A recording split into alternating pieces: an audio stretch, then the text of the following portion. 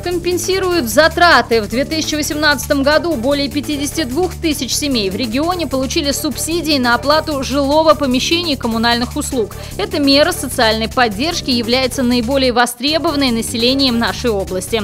Средний размер субсидий в месяц составляет 1860 рублей. Всего из областного бюджета на предоставление этой меры соцподдержки выделено почти 870 миллионов рублей. Напомню, право на получение субсидий имеют малые малоимущие семьи и одиноко проживающие неработающие пенсионеры. Размер субсидии для каждого определяется индивидуально.